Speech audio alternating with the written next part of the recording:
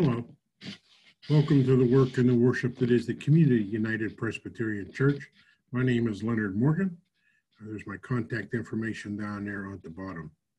Uh, hope you're enjoying your Labor Day weekend. Seems like everybody's out uh, trying to wrap up some uh, summertime things and get prepared for, for fall. Um, we will not have communion uh, this Sunday. We've pushed it back to the 13th. And uh, we've also, that's when we go back to our regular 11 a.m. worship service. Uh, so we will fall back. We'll move our 10 a.m. worship service back to 11. Uh, the committees are meeting and preparing.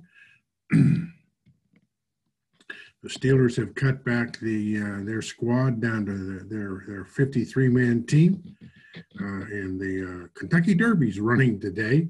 A little bit later this afternoon. Uh, usually run in May, but uh, because of the corona, everything's been changed around. Um, and uh, uh, our website is up and working. Uh, you can check that out, and that information is available on our on our homepage.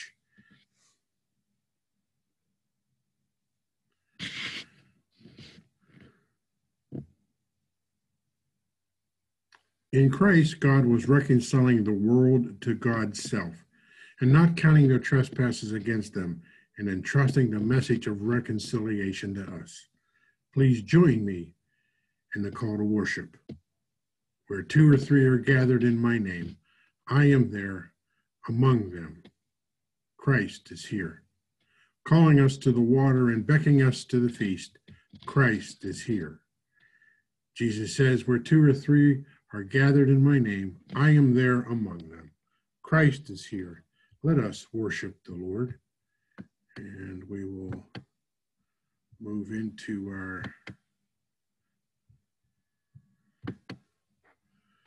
uh, our first hymn will be the sweet sweet spirit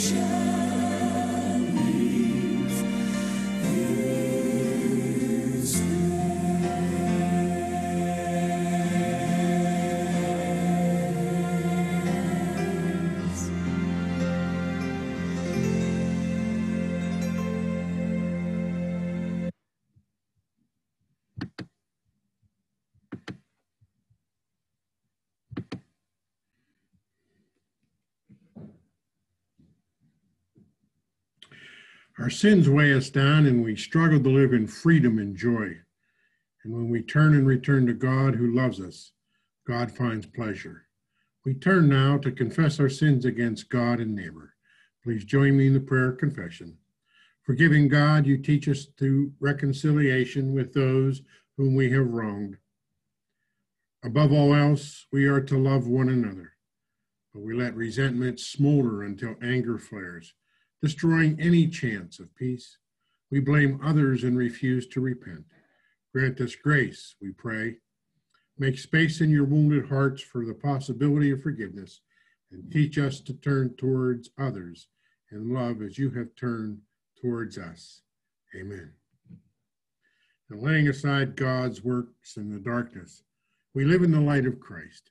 Gathered in Christ's name, surely he is among us, full of grace and truth. In Jesus Christ we are forgiven, lifted up to a new life. Thanks be to God.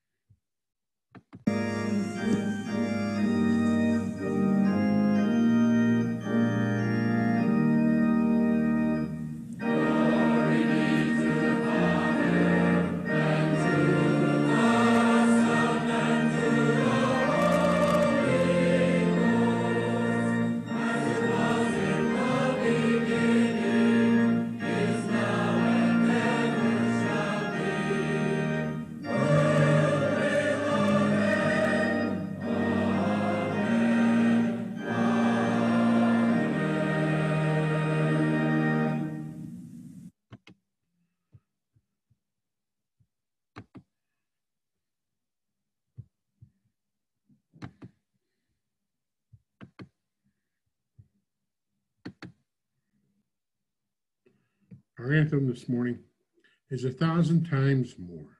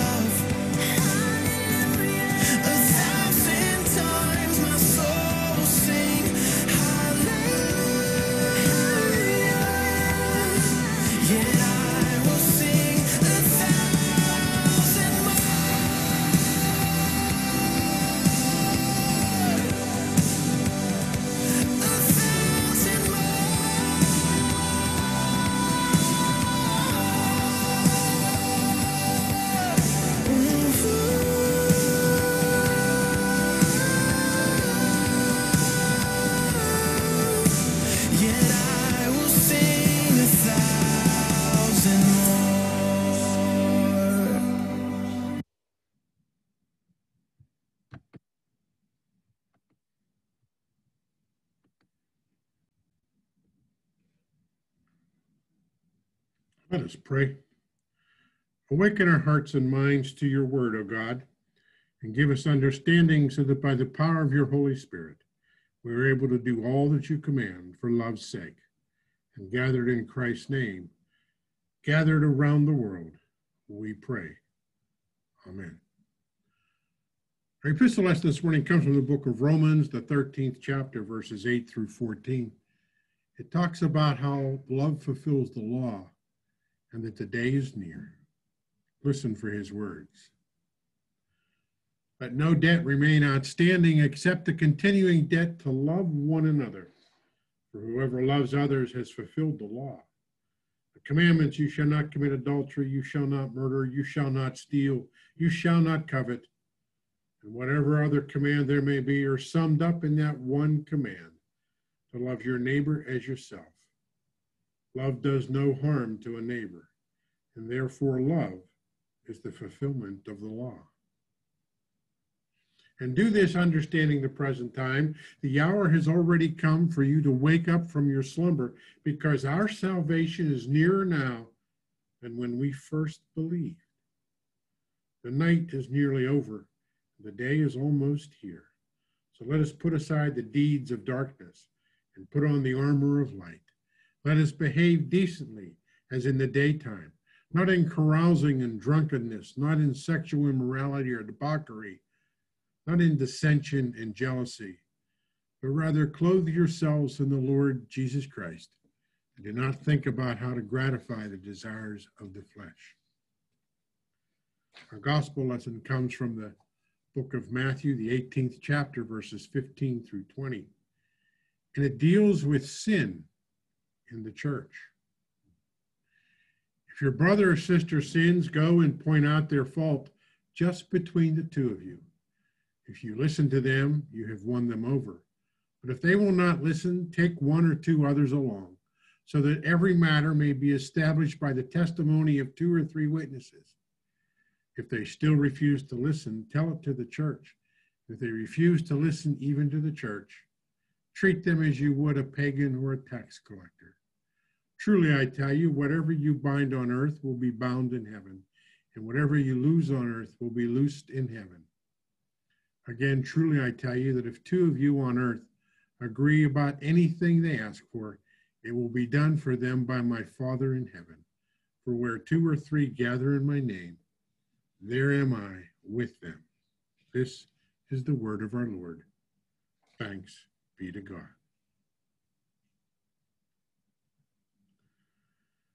There was a church where the pastor and the director of music were not getting along. And as time went by, this began to spill over into the worship service.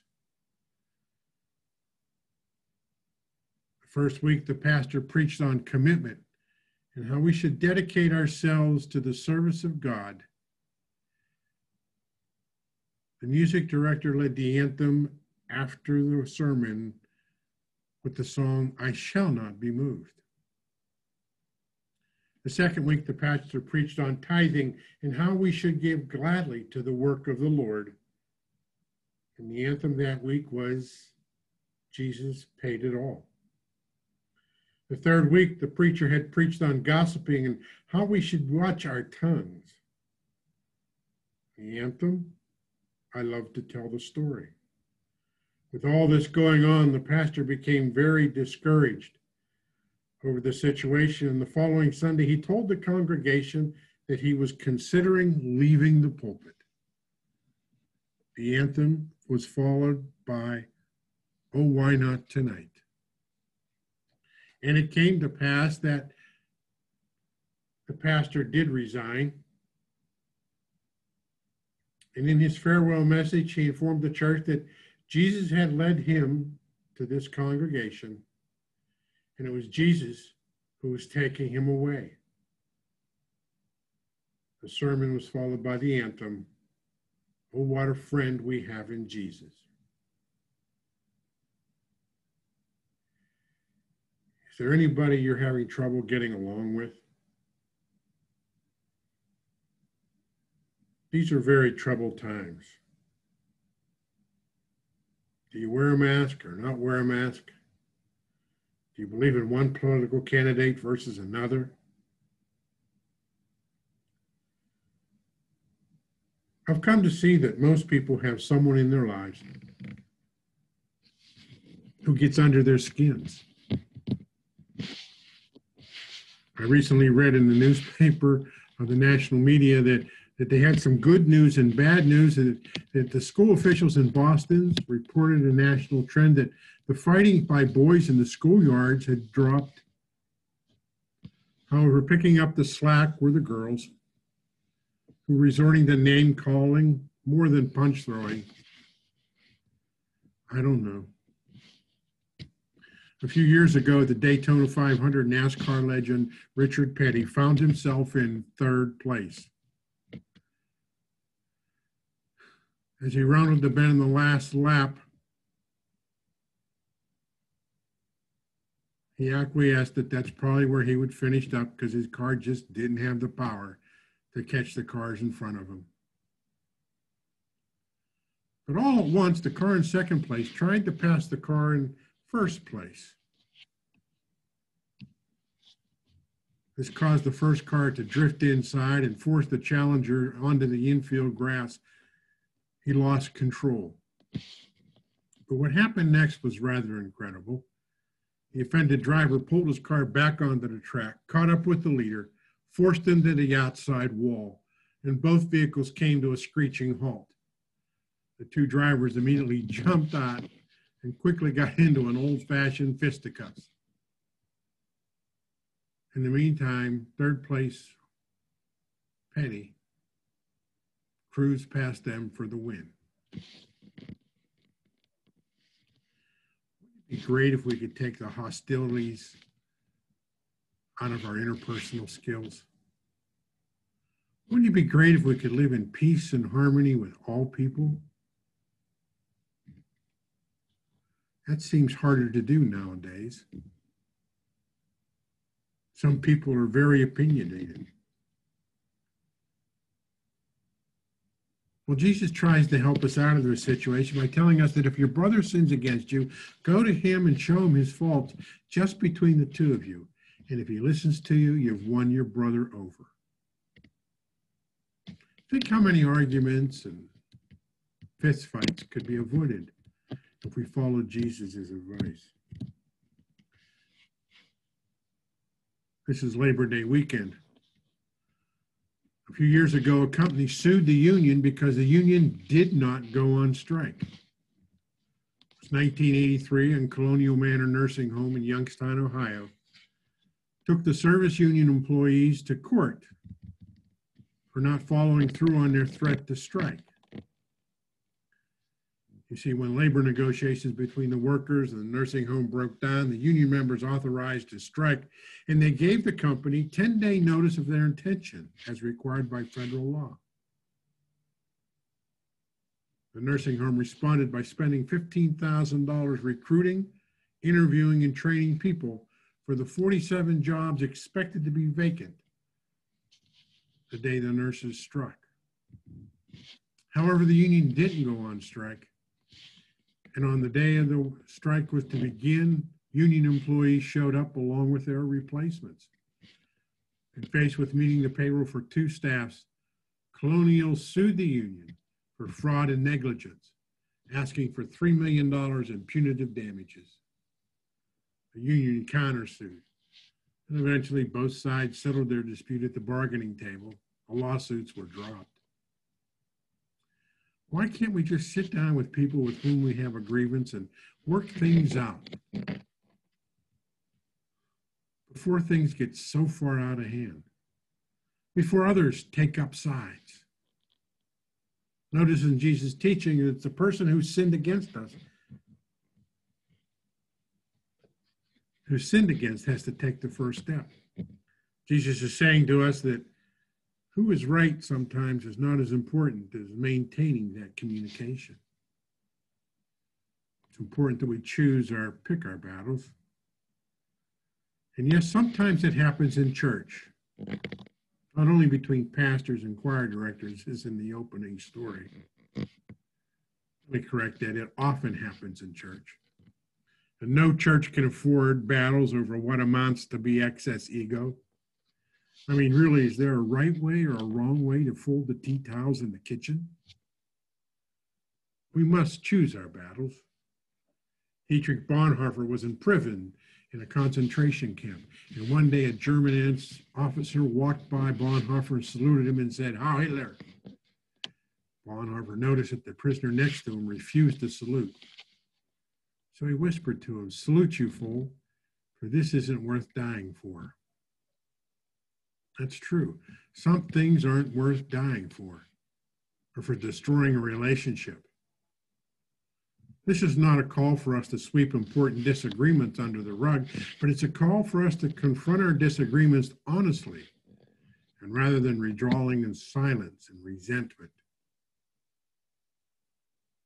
Sometimes there's an urgency to mend fences for those who have done us wrong. There's always the danger of procrastination. There may be someone here today who needs to go immediately to someone who has hurt you and make things right. In one of the popular chicken soup volumes, Dennis Mannering tells us about an assignment he once gave a class that he teaches for adults. He gave them a similar assignment and said, Go to someone you love and tell them you love them. Mm-hmm. At the beginning of the next class, one of the students began by saying, I was very angry with you last week when you gave us this assignment. I didn't feel I had anyone to say those words to. But as I was driving home, my conscience started talking, and I knew exactly who I needed to say I love you to. You see, five years ago, my father and I had a vicious disagreement, and it's never been really resolved.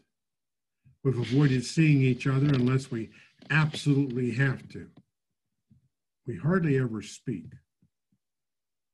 And by the time I got home, I convinced myself that I was going to tell my father that I loved him. Just making that decision lifted a heavy load off my chest. So there I was at 5:30 on my parents' front porch ringing their doorbell, praying that dad would answer the door. I was afraid if mom answered, I'd chicken out. But as luck would have it, dad did answer the door. And I didn't waste any time. I took one step in the door and turned to my father and said, Dad, I've just come over to tell you that I love you. And before my eyes, his face softened. The wrinkles seemed to disappear and he began to cry. He reached out and hugged me and said, I love you too, son, but I've never been able to say it. But that's not my point. You see, two days after that visit, my dad had a heart attack. He's in the hospital now, and we don't know if he'll make it. So, my message to all of you is this don't wait to do things you need to do now, they need to be done. Take the time to do what you need to do. That's the advice that Jesus gives us. People hurt us, sometimes intentionally. Sometimes that's just the way they are. They really don't mean to. And sometimes who is right and who is wrong is not as important as finding a common ground where that relationship can be maintained. Sometimes that means we need to take the first step, even though we know the other person was wrong. And the best time to take that step is today. Let us affirm our belief by praying the Apostles' Creed.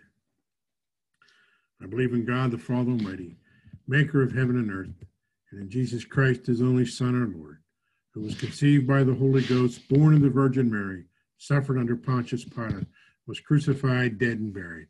He descended into hell. The third day he rose again from the dead. He ascended into heaven and sitteth on the right hand of God the Father Almighty. From thence he shall come to judge the quick and the dead. I believe in the Holy Ghost, the Holy Catholic Church, the communion of saints, the forgiveness of sins, the resurrection of the body, and life everlasting. We come to that time of service where we share our joys and concerns as a congregation. Please continue to remember those on our prayer list. Continue to remember those loved ones, those that we know, and those that only God knows. Let's join in prayer. God of grace and steadfast love, we thank you for your commandments, which order our life together. We thank you for calling us to live honorably with one another and pray for your grace as we try to do all that you require of us.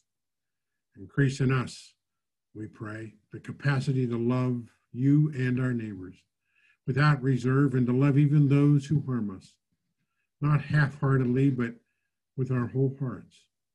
We bring before you the cares, the concerns, and the joys that occupy us. We remember before you those who are at odds with one another in families and neighborhoods, and yes, even in the church. We pray for nations in the midst of etern- internal and external struggle and conflict. Teach us, O oh God, to seek nonviolent ways towards resolution. Help us to speak the truth and to listen with understanding when our perspectives are so far apart. We pray for love to bring peace into every troubled heart and place. We remember before you those who have physical needs today, those who are hungry and thirsty, for those who are exhausted by the demands of work or caregiving, for people who are sick and undergoing surgery, for people who live with chronic pain. Bring rest and relief, we pray, we remember those weighted down with the needs of heart and soul, a worry that keeps us awake at night, and grief that accompanies us everywhere we go, depression that clouds us, or an addiction that grips us. Lift all these heavy burdens with the light and peace of your presence, we pray.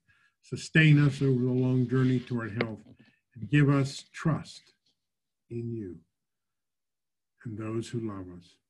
We remember before you not only our case, cares, but also our joys. For birthdays that are being celebration, anniversaries that are being enjoyed, new beginnings, a new school year, a new job, new relationships. We thank you, Lord, for the gift of laughter, for enduring friendship, for cherished memories. We give thanks that with you, there's always a new beginning, a way where there is no way of hope beyond hope and life beyond death. Through Jesus Christ, our risen Lord. Amen. And now, the counsel of the children of God, let us pray the prayer that He's taught us. Our Father, who art in heaven, hallowed be thy name.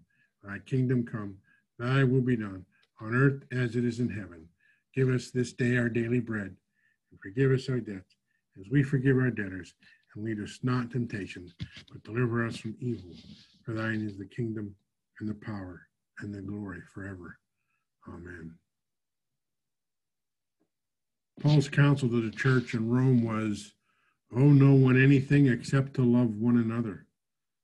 So come, let us love one another with all God's word by sharing what we have been given so that the needs are met and his gospel is proclaimed.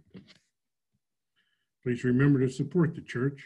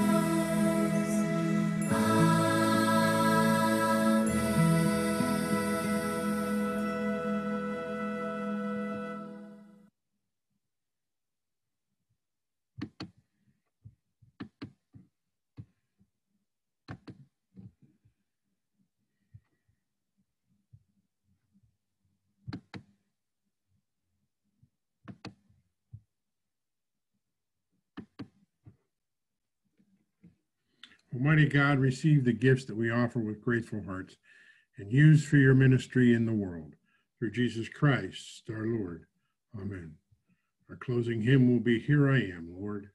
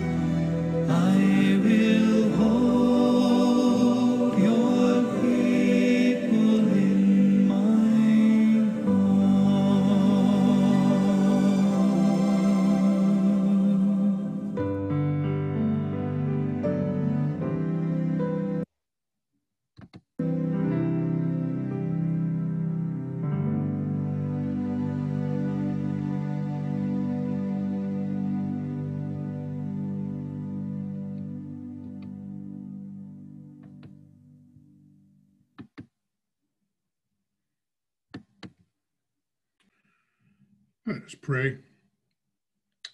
Let's oh. start caring for aging parents, helping them live independently. Everyone's entitled to be treated with dignity.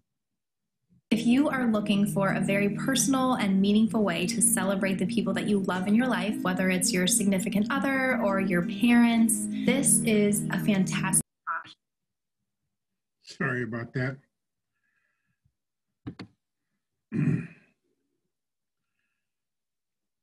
Owe no one anything except to love one another.